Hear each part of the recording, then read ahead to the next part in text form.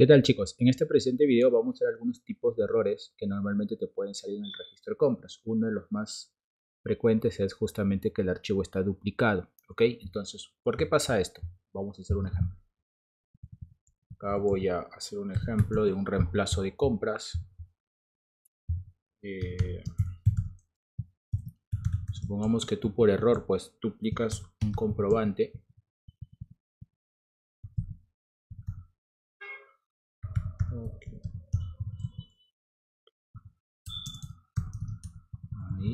como es duplicado, pues tiene que tener los mismos datos.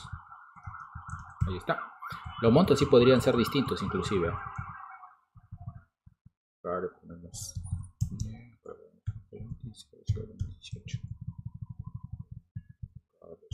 236, 118 y la palabra mágica pen.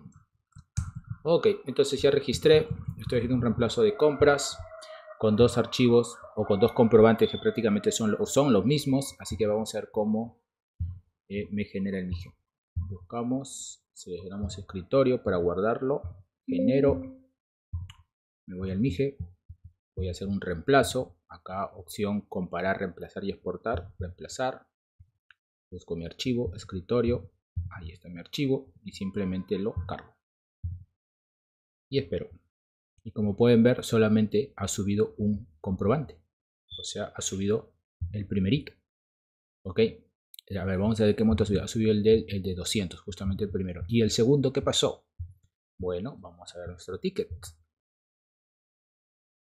tengo varios. Vamos a ver el último, ¿no? Siempre hay que ver el último.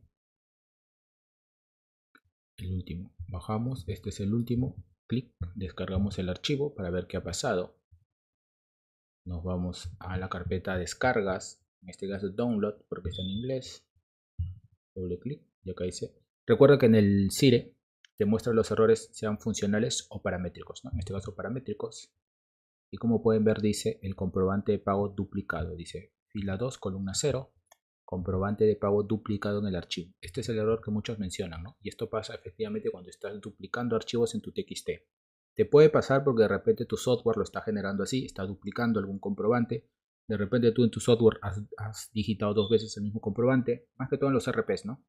O quién sabe, no te has dado cuenta y has registrado dos veces y por eso es que te está botando este error, ¿ok? Solamente va a subir uno y el otro lo va a excluir, ¿no? Justamente que dice fila validadas 2, uno salió con inconsistencia.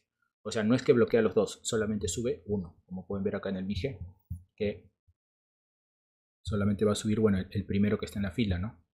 Te sube solamente uno y el otro no. ¿Ok? Bueno, espero que te sirva este video. Muchas gracias.